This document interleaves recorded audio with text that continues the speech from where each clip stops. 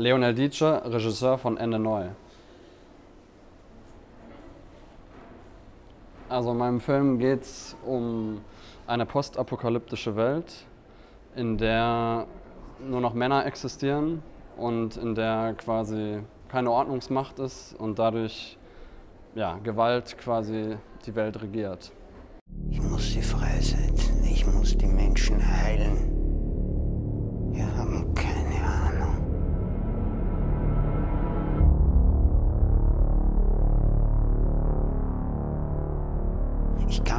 Menschen ein neues Bewusstsein bringen.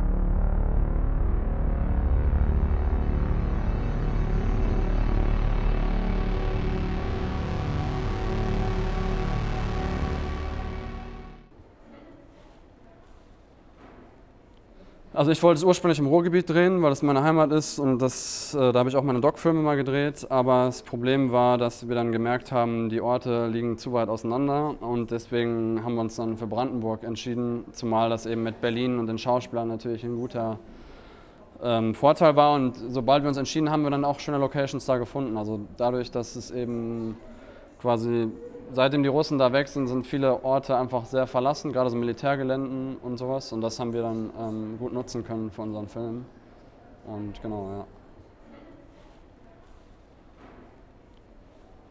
Natürlich, genau. Also ich meine, das hat natürlich erstmal so eine, sag ich mal, eine gesellschaftliche Komponente, eine zweiten, einen zweiten Schritt auch eine persönliche, weil im äh, Drehzeitraum ist auch mein Vater gestorben und ich habe quasi schon viel über Männer und Männlichkeit nachgedacht quasi und deswegen sind diese Figuren auch Stellvertreter für gewisse Arten von Männlichkeit. Also der, der Arzt ist jetzt weniger, geht es mir jetzt weniger um Homosexualität, als vielmehr um jemand, der einfach seinen Hedonismus so sehr auslebt, dass es völlig egal ist, was das für Konsequenzen für andere Menschen hat. Und sage ich jetzt mal jemand wie der Anführer, ist mehr jemand wie so ein Hells Angel oder so ein typischer Gang-Typ, eigentlich auch ein bisschen inspiriert von so Warlord-Figuren ähm, aus Afrika zum Beispiel. Da habe ich mich ähm, mit mehr auseinandergesetzt und sozusagen und der, der Heiler wiederum ist für mich so ein, ja, jemand, der mit Religiosität arbeitet, mit, mit, ähm, ja, mit Fanatismus und der an sich eigentlich schon eine gute Vision hat für die Welt, aber gleichzeitig auch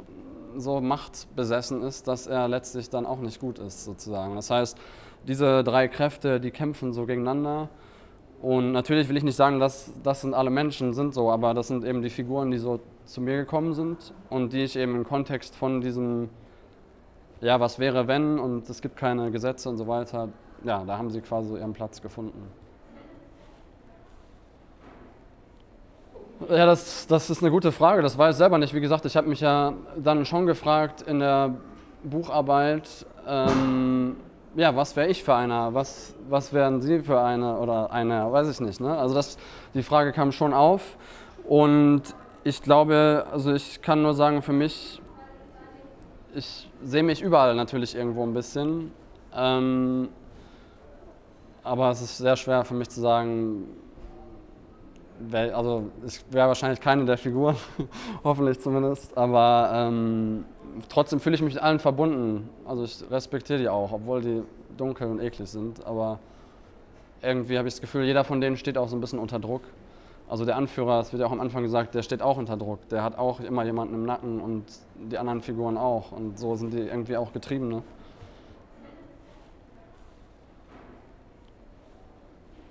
Zwischen mir und meinen Kollegen spricht man eigentlich hauptsächlich dann über Berlinale oder München. Also es gibt natürlich noch andere gute deutsche Festivals, aber das sind quasi so gerade die, die besten oder die, wo man hin will. Und ähm, ich hatte das Glück, dass wir vor, was war es, 2016 oder letztes Jahr, glaube ich, liefen wir auf der Berlinale mit äh, Millennials, wo ich als Schauspieler äh, mit dabei sein durfte.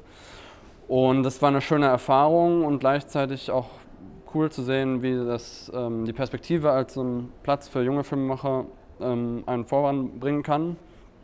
Aber ich habe das Gefühl, dass München seit einigen Jahren ziemlich, eine ziemlich gute Auswahl hat an deutschen Filmen. Und ich habe das Gefühl für mich jetzt, dass es weniger studentisch ist als die Perspektive beispielsweise. Und ja, ich also ich kann nur sagen, bei uns hat es einen total guten Ruf und ich finde das, wie gesagt, so was den deutschen Wettbewerb angeht, also glaube ich nach dem Wettbewerb für die Berlinale den besten Wettbewerb eigentlich so, also meiner Meinung nach. Aber sieht auch jeder anders. Aber genau, also was ich sagen will ist, es ist, spricht eigentlich für innovatives deutsches Kino, was eben vielleicht auch ein bisschen genreiger sein kann und vielleicht ein bisschen weniger politisch ist im Vergleich zur Berlinale. Und dadurch passt vielleicht unser Film auch besser hierhin als die Berlinale.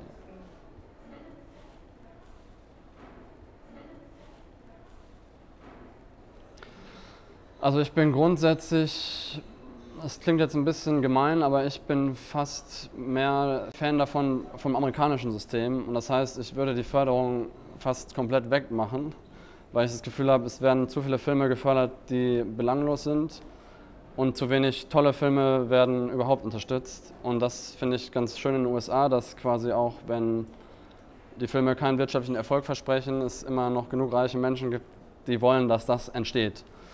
Und diese, diese, diese Liebe zum Kino und dieser Wahnsinn, der existiert hier meiner Meinung nach nicht so richtig. Und deswegen kann ich mir schwer vorstellen, wie das jetzt für mich in Zukunft hier laufen sollte. Und quasi deswegen habe ich mir gedacht, ich versuche mein Geld selber zu verdienen über Werbung und dann quasi entweder kleinere Filme selber zu drehen und komplett selber zu produzieren oder eben versuchen, internationale Produktionen zu finden. Aber quasi ich auch in der Art, wie mein Film jetzt schon teilweise bewertet wurde oder was ich an Feedback bekommen habe, merke ich natürlich, dass ich mit sowas in Deutschland wahrscheinlich nicht so gut ankomme. Und ähm, genau, deswegen muss ich natürlich überlegen, wo finde ich mein Publikum oder wo finde ich mein, meine Finanziers. Ne?